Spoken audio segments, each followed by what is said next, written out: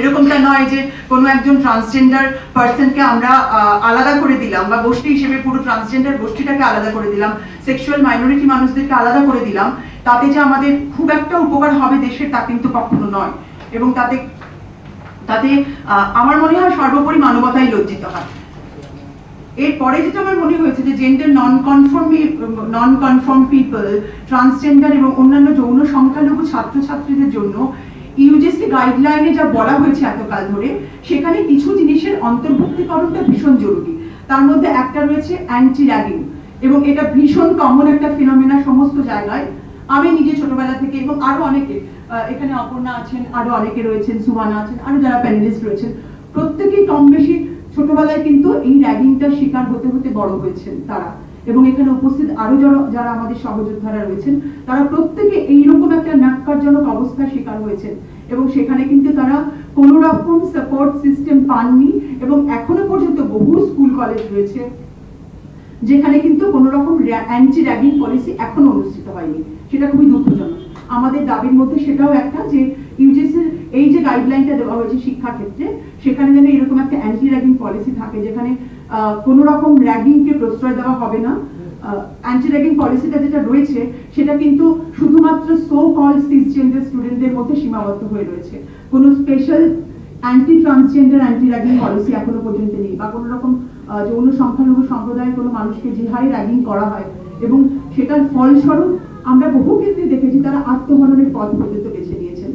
সেটা কি সত্যি আমাদের জাতির পক্ষে মানবতার পক্ষে খুব একটা কল্যাণকর জিনিস? আমার মনে হয় না। এবং এখানে আরও একটা যেটা করা হয় অ্যান্টি সেক্সুয়াল হ্যারাসমেন্ট এই অ্যান্টি সেক্সুয়াল হ্যারাসমেন্ট পলিসিটাও থাকাটা ভীষণ জরুরি। আমরা সবাই জানি, আমরা নিজেদেরকে, নিজেদের মুখের উপরে খুব বড় বড় রাখি যে আমরা নিজেদের সভ্য বলে দাবি করি। এবং আমরা মনে করে থাকি যে না এডুকেশনাল ইনস্টিটিউটে কোনো রকম সেক্সুয়াল হ্যারাসমেন্ট হয় না। এগুলো এগুলো একদমই ভুল কথা এবং সার্বিকভাবে যে তথ্যগুলো আমাদের কাছে উঠে আসে, তাতে সেটা কিন্তু ভীষণ ভয়াবহ। এবং সেক্ষেত্রে দেখা যায় যে মব লিঞ্চিং এর মতন অবস্থা থেকে শুরু করে সেখানে কিন্তু অ্যান্টি মানে সেক্সুয়াল যে হয়, সেক্ষেত্রে যদি কেউ দেখা যায় যে তারা তথাকথিত, চিরাচরিত সেক্সুয়ালিটির বাইরে দাঁড়িয়ে রয়েছেন, তাহলে সেই রকম মানুষগুলোর ক্ষেত্রে কিন্তু খুব ভয়াবহভাবে তাদেরকে র্যাক করা হয় এবং তাদেরকে হ্যারাসমেন্ট করা হয়। এবং একাধিক প্রমাণ নথি প্রমাণ আমাদের কাছে সেগুলো নিয়ে রয়েছে।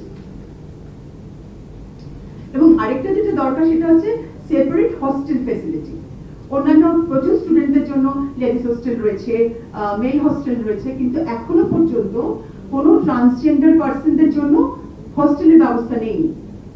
হতেই পারে যে আমি যদি একজন ট্রান্সজেন্ডার ব্যক্তি হই, আমি কমফোর্টেবল ফিল নাই করতে পারি চার পাঁচজনের সঙ্গে। সেক্ষেত্রে আমার মনে হয় এটা একটা তাদের মানসিক স্বাস্থ্যের দিক থেকেও ভীষণ জরুরি একটা পদক্ষেপ হবে, যদি এই হোস্টেল পলিসিটাকেও এই ইউজিসি পলিসির মধ্যে আনা হয়। আরেকটা সব থেকে বার্নিং ইস্যু যেটা হয় সবসময় কলেজ বা স্কুলগুলোতে এবং খুব সাধারণ ক্ষেত্রে সেটা হয়ে থাকে। প্রত্যেক প্রত্যেক ট্রান্স ট্রান্সম্যান ট্রান্সওম্যান জেন্ডার কুড়ে প্রত্যেকেই হয়তো এই জিনিসটা ফিল করেন ফেস করেন বাস্তব জীবনে। সেটা হলো যে টয়লেট ইস্যু মানে এই টয়লেট ইস্যুটা কিন্তু ভীষণ দাবিয়ে দেওয়া একটা ইস্যু একজন মানুষের ক্ষেত্রে যে সে কোন টয়লেটটা ইউজ করবে। ঠিক আছে? পরের আমি খুব তাড়াতাড়ি পয়েন্টগুলো ডিসকাস করতে চাইছি, কারণ অনেকগুলো, অনেক বক্তা রয়েছেন, অনেকগুলো পয়েন্টস তারা ডিসকাস করবেন। শিক্ষার আইনের ক্ষেত্রে রাইট টু এডুকেশনের মধ্যে যে সমস্ত প্রতিশ্রুতিগুলো এ যাবৎ দেওয়া হয়েছে, সেগুলো যদি পূরণ করা হয়, সেটা একটা খুব বড় দরকারি একটা জায়গা। স্কুল কলেজ পাঠ্যক্রমের কিছু রদ বদল করা মানে যে পাঠ্যক্রমগুলো এতকাল ধরে চলে এসছে যে সেই পাঠ্যক্রমগুলো কিন্তু কোনো জায়গায় ট্রান্সজেন্ডার ইনক্লুশন বা জেন্ডার মাইনরিটি সেক্সুয়াল মাইনরিটির ইনক্লুশনগুলো কিন্তু এখনও পর্যন্ত হয়ে ওঠেনি। সেই হয়ে ওঠাগুলোকে আমাদের কার্যকর করতে হবে। এটা আমাদের অন্যান্য দাবিগুলোর মধ্যে একটা। অ্যান্টিবোলিং লেজিসলেশন নিতে বললাম যে অ্যান্টিবোলিং লেজিসলেশনটা হওয়াটা ভীষণ জরুরি। এছাড়া জেন্ডার জেন্ডার এবং সেক্সুয়াল মাইনরিটির ছাত্রছাত্রীদের জন্য স্কুল, কলেজে কাউন্সিলর নিয়োগ করাটা ভীষণ জরুরি। আমার মনে হয় যে বেশিরভাগ ক্ষেত্রে যেটা নেগলেক্টেড হয় সেটা হচ্ছে ছাত্রছাত্রীদের মানসিক স্বাস্থ্য। সেই মানসিক স্বাস্থ্যটাকে এখনও পর্যন্ত ইন অ্যান অ্যাভারেজ এবং সার্বিকভাবে কিন্তু এখনও পর্যন্ত সেরকমভাবে গুরুত্ব দেওয়া হয় না। যেটা হওয়াটা উচিত ছিল এতদিন ধরে। এখনও পর্যন্ত আমি দেখিনি কোনো কলেজ বা স্কুলে প্রপারলি একজন এডুকেশনাল কাউন্সিলর রয়েছেন যিনি এই জেন্ডার এডুকেশন বা এই এই যে লিঙ্গের প্রকরণ এগুলো নিয়ে বা তাদের যা যা যা মানসিক সমস্যা হয়, সেগুলো নিয়ে কাজ করছেন। এটা হওয়াটা জরুরি। আর সাপোর্টিভ লার্নিং একটা এনভায়রনমেন্ট আমার মনে হয় বেশিরভাগ ক্ষেত্রে যেটা আমরা পাই না, কেউ পান না। এখনও পর্যন্ত এই যুগেও কিন্তু বহু স্টুডেন্টদের ড্রপ আউটের কেস আমরা পাই। যারা কিন্তু স্কুল বা কলেজে ড্রপ আউট করেন শুধুমাত্র বুলিড হবেন ভেবে বা অন্যান্য মানে একটা সুস্থ পরিবেশ নেই সেখানে। এমনি স্টুডেন্টদের জন্য যদি এক পার্সেন্ট না থাকে, আমাদের মতো স্টুডেন্টদের জন্য ten percent more than ten percent নেই। সেই জায়গাগুলোকে অ্যাড্রেস করাটা ভীষণ জরুরি। তো এই মোটামুটি এই পর্যন্ত আমি বলে উঠতে পারলাম। এটা ওই যে যেটা অভিনব বললেন যে এটা একদিনের প্রসেস নয় ইটস অনগোয়িং প্রসেস এটা অনন্তকাল ধরে আরও নানা রকম মডিফিকেশন হবে আরও অনেক দাবি উঠে আসবে। তো সেগুলো নিয়ে পরবর্তীকালে নিশ্চয়ই কথা হবে। সম্পর্কে বলছি স্বাস্থ্য আমার মনে হয় একটা খুব জরুরি বিষয় প্রতিটা মানুষের। আর সেটা যখন লিঙ্গ এবং আহ, যৌনতার সংখ্যালঘু মানুষদের ক্ষেত্রে সেটা আরও বেশি জরুরি হয়ে পড়ে। তো সেই বিষয়ে আমরা যেগুলো মনে করেছি, একটু বলছি।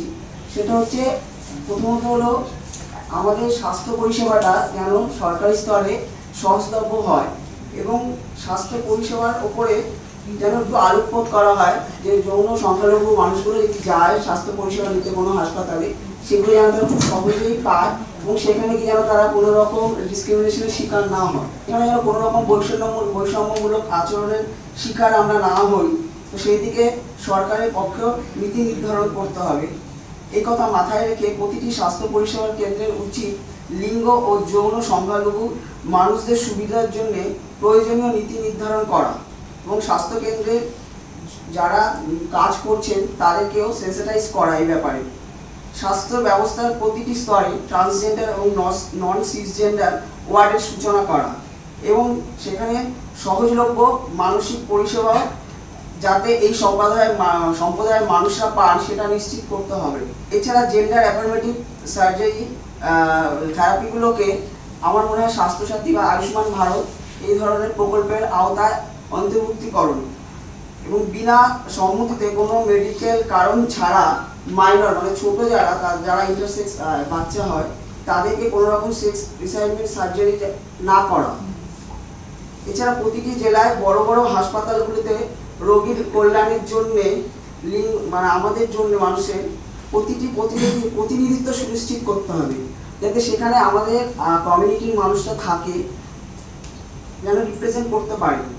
চিকিৎসা বিদ্যার পাঠ্যক্রমে অন্তর্ভুক্তিকরণ, যাতে এই স্বাস্থ্য পরিষেবায় পেতে এটা চিকিৎসা বিদ্যায় যদি অন্তর্ভুক্তিকরণ হয় শিক্ষাক্ষেত্রে, তাহলে এটা প্রতিটা মানুষের কাছে যাবে এবং সেক্ষেত্রে আমাদের চিকিৎসার সুবিধা হবে Thank you, Rahul. Uh, Shamay Puspam, so I'm quickly going to the next speaker. Uh, I'm requesting Raina to talk about problems around gender identity, identity documentation. Jita actually, it's an underlying issue for all the issues covered in the Charter of Demands. প্রথমেই বলি যে আজকে আহ, আজকে এই- এই এই বছরেই কেন এই এই জিনিসটাকে করতে হলো আজকে কেন আমরা প্রেস ক্লাবটায় আসলাম এবং কেন আমরা অনেক মানুষ আছে এবং এর একটা ইতিহাস আছে, সেই ইতিহাসটা আমি খুব সংক্ষেপে বলব। আমাদের আন্দোলন এবং আমাদের যে আজকে যে সমাজে একটা স্বীকৃতি ও অস্বীকৃত অবস্থা মানে দুটোর মাঝামাঝি, আসলে কোনোটাই কোনোটাই আমরা ঠিক করে নিঃশ্বাস নেওয়ার জায়গাতে নেই। এই জায়গাটা একটা ইতিহাস আছে এবং বিভিন্ন রাজনৈতিক দল আজকে মনে করছেন যে তাদের তাদের মতে এটাকে, এই ইস্যুটাকে কোথাও গিয়ে হয়তো রেস করা উচিত, কোথাও গিয়ে হয়তো তাদের বোধহয় তাদের নিজেদের ম্যানিফেস্টো বা বিভিন্ন জায়গাতে ঢোকানো উচিত। কিন্তু প্রশ্নটা উঠে আসে প্রথমেই আমরা কোন জায়গা থেকে বঞ্চিত? আমাদের পরিচয়টা, আমাদের জীবন যাপনের সংগ্রাম এবং অস্তিত্বের যে একটা সংকট চলে, সেটাই আমাদের রাজনীতি। এবং এই রাজনীতিটাই কিন্তু, এই রাজনীতিটাকেই কিন্তু বলা হচ্ছে আইডেন্টিটি পলিটিক্স এবং এখানে খুব স্বভাবতই ট্রান্স মানুষেরা বসে আছেন, কিন্তু এই ট্রান্স মানুষ ছাড়াও কিন্তু আরও অনেক বর্গের মানুষ এই কমিউনিটির মধ্যে আছেন। L G B T I Q সমস্ত সংগঠন এবং এর ইতিহাস কিন্তু অনেকদিন আগে দানা বেঁধেছে। এই ইতিহাসের লড়াইটা কিন্তু লড়তে হয়েছে আমাদেরকে। আমাদের উত্তরসূরি এবং আমাদের আর পরবর্তীকালে আমরা আমাদেরকে এগিয়ে এসেই তাদের প্রতি কৃতজ্ঞতা এবং সকলে এখানে যারা এসছেন, তাদের অভি ও তাদেরকে মানে আন্তরিক শুভেচ্ছা জানিয়ে আমি কতগুলো কতগুলো বিশেষ কথা শুধু বলতে চাই। সেখানে হচ্ছে আমরা যখন কোনো শব্দকে চয়ন করি, তখন সেই শব্দ চয়নের মধ্যে, মধ্যেই কিন্তু একটা লিঙ্গ রাজনীতি থাকে। হ্যাঁ তো আমরা সেই লিঙ্গ রাজনীতিটার মধ্যে, সেই শব্দ চয়নের মধ্যে কিন্তু আমরা পড়ছি না। আমাদের ভোটার আইডেন্টিটি কার্ড। আমাদের ভোটার আইডেন্টিটি কার্ড, সেটা পেতে গেলে কিন্তু আমাদেরকে ডিস্ট্রিক্ট ম্যাজিস্ট্রেটের কাছে যেতে হবে এবং ডিস্ট্রিক্ট ম্যাজিস্ট্রেট যদি বলেন যে হ্যাঁ উনি ট্রান্সজেন্ডার অর্থাৎ এখানে যারা তথাকথিত পুরুষ বা নারী বসে রয়েছেন, তাদের ক্ষেত্রে কিন্তু এটা হচ্ছে না। স্টেট একটা জায়গাতে কোথাও গিয়ে স্বীকৃতি দিয়েও কিন্তু আমরা কারা, এটা কিন্তু তাদের প্রশ্ন। তো আমরা কারা, সেটা আমরাই বলি। সেটাই বোধহয় সব থেকে ভালো। এবং দ্বিতীয়ত হচ্ছে যে এই পিছিয়ে পড়া, এই পিছিয়ে পড়া কথাটা, পিছিয়ে পড়া কথাটা পিছিয়ে কেউ পড়ে থাকে না। পিছিয়ে রাখা হয় এই সমাজ, এই সামাজিক সিস্টেম মানুষকে পিছিয়ে রাখে একদল এক বর্গের মানুষকে, একটা গোষ্ঠীকে, একটা একটা সম্প্রদায়কে। তো এরকম বিভিন্ন রকম সম্প্রদায় আছে। যেমন আমাদের কমিউনিটি আছে, আমাদের কমিউনিটির সাথে যদি আমরা আমরা যদি আমরা যদি কোথাও গিয়ে কোনো কানেকশন খুঁজে পাই, সেখানে ডিসেবিলিটি কমিউনিটি আছে, সেখানে সেখানে বিভিন্ন রকম ইন্ডিজিনিয়াস কমিউনিটি আছে, সেই সমস্ত কমিউনিটির ক্ষেত্রেই কিন্তু কোথাও বোধহয় রূপটা কোথাও এক জায়গায় বাধা।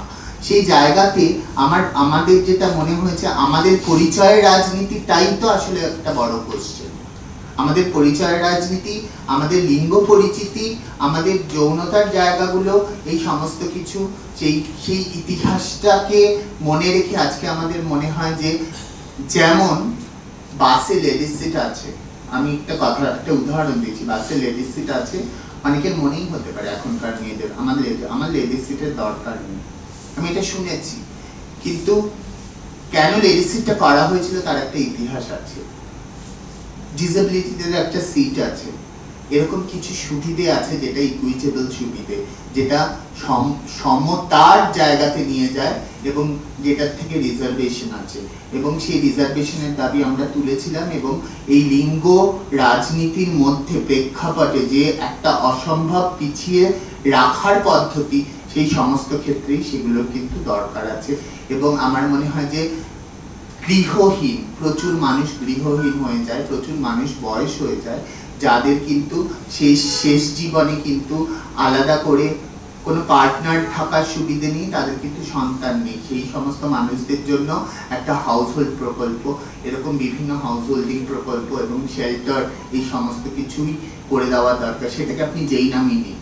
হ্যাঁ এবং আমরা, আমি এখানে বলতে চাইছি যে আজকের দিনে দাঁড়িয়ে আমরা ডান বাম সমস্ত কিছু ভুলে গিয়ে আমার মনে হয় আমাদের পরিচয়ের রাজনীতিটাকে দেখার দরকার এবং এছাড়া আমাদের কিছু পেনশনের পেনশনের কিছু জায়গা আছে, যেমন আমাদের আমাদের কিছু এক্সট্রা পেনশন যেটা যেটা যেটা বয়স হয়ে গেলে বৃদ্ধ ভাতা, সেই বৃদ্ধ ভাতাটা আমরা কীভাবে চাইছি সেটা আমাদেরকে ডিসাইড করা এবং আমাদের সাথে সেটা নিয়ে কথা বলা এবং এই সমস্ত পরিচয়ের, পরিচয়গুলো নিয়ে আমাদেরকে আমাদেরকে শিক্ষা ক্ষেত্রে জেন্ডার এডুকেশন লিঙ্গ শিক্ষা, লিঙ্গ শিক্ষাটা কিন্তু এটা দিয়ে বোঝানোর দরকার আছে। পুরো সিস্টেমটাকে বারবার করে বদলানোর পরিকাঠামোর মাধ্যমে কিন্তু এই লিঙ্গ রাজনীতিটা কোথাও গিয়ে কোনো একটা সমতার জায়গা দিতে পারে বলে আমার দরকার। আমার আলাদা করে তো কোনো সেরকমভাবে কোনো বলবার কিছু ছিল না। শুধু এটুকুনি ছিল যে এই যে এই যে আমরা যারা পিছিয়ে পড়তে বাধ্য হয়েছি, আজকে যারা এগিয়ে আসতে চাইছি তাদের বক্তব্যগুলো শুনে তাদের ইতিহাসটা জেনে তারপরে সরকার পক্ষ যেন মতামত নেয় এইটুকুনি বলব Thank you, Raina. Just to put uh, in যেটা রায়না বলল, uh, এখন in my experience, Kolkata High Court at least there have been half a dozen writ petitions asking for inclusion of transgender identity in either State Bank of India examinations, other banking examinations, West Bengal Public Service Commission, আর এখন খুব recently যেটা দেখা যাচ্ছে even in স্বাস্থ্য সাথী application এই প্রত্যেকটা জায়গায় this should have happened automatically because of NALSA because of the transgender rights act কিন্তু এখনো হয়নি So another appeal to the political parties যে এটার জন্য we don't even have to wait for any central directive. এটা তো করাই যায়. We have to focus on this. Uh, আমাদের next speaker Sudeb. Sudeb livelihood নিয়ে চার্টার অফ ডিমান্ড যেটা লেখা আছেন সেটা নিয়ে বলব নমস্কার। আমার একটু অন্যটা বলার ছিল এবারে একটু গুলিয়ে যাচ্ছে কিন্তু আমি বলছি কিন্তু আমার আজকে এখানে বসে একটু পেছনে চলে যাচ্ছে। আমার আমার আমার আমার ওই দুহাজার আঠেরো সালের ওই দিনটা মনে পড়ছে যখন আমাদের যে বিচারক মন্ডলী ছিলেন যারা তিনশো সাতাত্তর ধারা নিয়ে আলোচনা করছিলেন, তাদের মধ্যে একজন বিচারক ছিলেন বিচারক চন্দ্রচূড় বলেছিলেন যে ইতিহাসের উচিত এলজিবিটি কমিউনিটির কাছে ক্ষমা চাওয়া, যে এতদিন পরে এসে এইরকম চর্চার মাধ্যমে এই আইনটাকে তুলতে হচ্ছে। তো আজকে এখানে দাঁড়িয়ে আমার মনের মধ্যে সেই একটা অনুভূতি চলছে। যে আজকে কিন্তু আমাদেরকেই আমাদের কথা বলতে আসতে হচ্ছে। আর আমরা হয়তো ততটা সমর্থন হয়েছি যে আমরা আজকে আমাদের কথা বলতে পারছি। মানে যতই আমাদেরকে আলাদা রাখা হোক, কিন্তু আমরা সেই ক্ষমতা অর্জন করেছি যে আমরা সবাইকে ডেকে আমাদের কথা বলছি। আমাদের কথা বলার জন্য কাউকে ডাকার এখন বোধহয় প্রয়োজনটা অনেকটা কমে গেছে। আমরা নিজে বলতে পারি। মানে আমাদেরকে না বলতে দেওয়ার সুযোগটাই আমাদেরকে কিন্তু বলার জন্য যে নির্ভরতা সেটা তৈরি করে তো সেখান থেকে দাঁড়িয়ে আমার কাছে সত্যি সত্যি লাইভলিহুড ভীষণ বড় একটা বড় একটা বিষয়। আমি দীর্ঘ কুড়ি বছর ধরে কমিউনিটির সাথে কাজ করে বুঝেছি, এটা ছাড়া হয়তো মুক্তির উপায় নেই। তো, আমাদের এই কাজের জন্য যে ডিমান্ড আমরা করতে চাই, সেই জায়গাটাতে প্রথমেই আমরা যেটা চাইব সেটা হচ্ছে যে সরকারি সমস্ত ক্ষেত্রে যেটা একটু আগে পাবেন বললেন যে যে যে যে কেসগুলো চলছে, তার মধ্যে আছে যে কোনো জায়গাতেই দেখা যায় না যে ট্রান্সজেন্ডার অপশনটুকু আছে। তো সরকারি সমস্ত কর্মক্ষেত্রে সবার আগে যেটা প্রয়োজন সেটা যে নামেই আমি বলি ট্রান্সজেন্ডার বা অন্য কোনো নাম, কারণ সরকারেরও এই জায়গাটাতে খুব বোধহয় পরিষ্কার নেই। কোনো জায়গায় আমরা আদার্স দেখতে পাই, কোনো জায়গায় থার্ড জেন্ডার শব্দ দেখতে পাই, কোনো জায়গায় ট্রান্সজেন্ডার শব্দ দেখতে পাই। যাই পাই না কেন, সেই জিনিসটাকে ইনক্লুড করা। আমাদের প্রত্যেকের মধ্যে ক্ষমতা আছে, প্রত্যেকের মধ্যে দক্ষতা আছে, প্রত্যেকের মধ্যে কোয়ালিটি আছে, কিন্তু সেটা দেখানোর কোনো জায়গা নেই। সেই জন্য সবার আগে সমস্ত রকম কর্মক্ষেত্রে আমাদের ইনক্লুডের জন্য ইনক্লুশনের জন্য সেই অপশনটা সেই দরজাটা খুলে দেওয়া হোক, যেখান থেকে আমরা সেখানে পৌঁছাতে অন্তত পক্ষে পারি। এবং সেই ক্ষেত্রটায় যখন আমরা পৌঁছাই, তারপরে দেখা যায় যে আমরা কাজ করতে পারি না, কারণ কাজের যে পরিবেশটা, সেই পরিবেশটা আমাদের কাজ করতে দেয় না। তো সেটার জন্য কোনো আইন প্রণয়ন অবশ্যই হোক, যে কর্মক্ষেত্রে যদি হ্যারাসমেন্ট হয়, যেটা মহিলাদের ক্ষেত্রে আছে বা অন্যান্য মানে অন্যান্য তথাকথিত সংখ্যালঘু মানুষদের জন্য আছে, যে কর্মক্ষেত্রে যদি তাদের হয়, তাহলে তার মোকাবিলা কীভাবে করা যায়, তার ব্যবস্থা, সেই ব্যবস্থাটাও যেন সাথে সাথে হয়। নইলে কাজে কাজে গেলাম, কিন্তু আমি কাজ করতে পারলাম না, আস্তে আস্তে ফিরে এলাম। ব্যাপারটা সেই রকম একটা খেলার জায়গায় চলে যাবে। যাদের ক্ষেত্রে সেই যোগ্যতা নেই, তারা কি করবে? কারণ বেশিরভাগ মানুষের ক্ষেত্রে আমাদের ক্ষেত্রে সেই যোগ্যতা নেই। কারণ আমরা পড়াশোনাই বেশি দূর করতে পারিনি, আমাদের অন্যান্য কোয়ালিটি নেই, অন্যান্য স্কিলই নেই, তাহলে তারা কি করবে? তাহলে তাদেরকে তাদেরকে কর্মক্ষেত্রে ইনক্লুশনের জন্য সরকারের তরফ থেকে ব্যবস্থা নেওয়া উচিত। এখনও পর্যন্ত দু হাজার সালের নালসা আসার পর থেকে আমরা দেখতে পাইনি ট্রান্সজেন্ডার স্পেসিক্যালি কোনো লাইভলিহুড প্রকল্প কোনো জায়গায় ইনক্লুড হয়েছে, কোনো জায়গায় এসেছে। আজ পর্যন্ত আসেনি। আমরা জানি মহিলাদের জন্য প্রচুর এসেছে, অন্যান্য ডিসেবিলিটির জন্য এসেছে, বা অন্যান্য সংখ্যালঘু তথাকথিত আবার বারবার বলছি তাদের জন্য এসেছে, কিন্তু ট্রান্সজেন্ডার মানুষদের জন্য কিন্তু স্পেসিক্যালি কোনো লাইভলিহুড প্রকল্প নেই। আমাদের সেই প্রকল্প প্রয়োজন। কারণ যেখানে আমরা দক্ষতা দেখাতে পারব না সেখানে সেই খাতা কলমের দক্ষতা দেখাতে পারব না সেখানেও তো আমাদের বাঁচতে হবে। আমরা আজকে সবাই বলি রাস্তাঘাটে এত লোক পয়সা চায় এত লোক সেক্স ওয়ার্ক করে এত লোক ট্রেনে পয়সা চায় করবে কি?